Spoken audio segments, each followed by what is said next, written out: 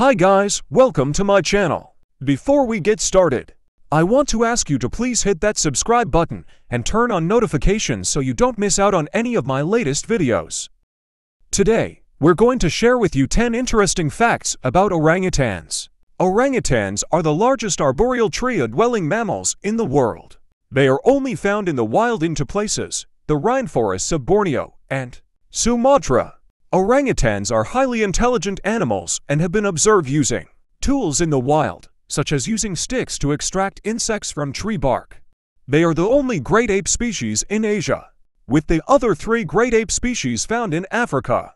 Orangutans have a unique and powerful grip that allows them to move through the trees with ease. They are solitary animals, except for mothers with their young.